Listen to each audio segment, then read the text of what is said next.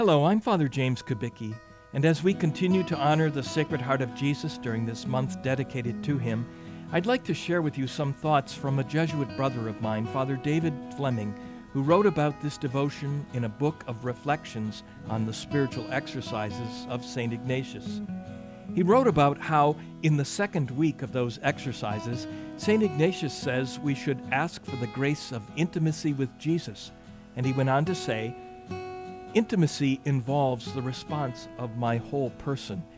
In true intimacy, everything is shared, nothing is held back.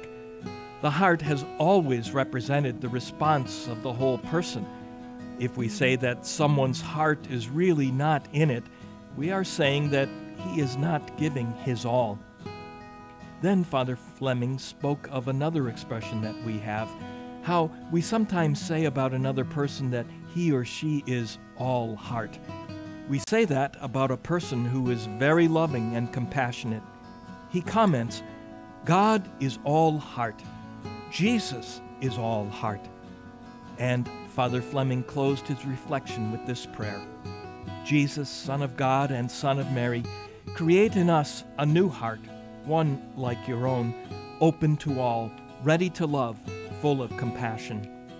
Jesus, Son of God and Son of Mary, stay with us in a world broken, but bathed in your love and your peace, gentling our sorrow and hate. Jesus, Son of God and Son of Mary, send us forth with hearts on fire, apostles formed by your word, warmed and embraced by your care. Jesus, Son of God and Son of Mary, be now the heart of our hearts. Amen.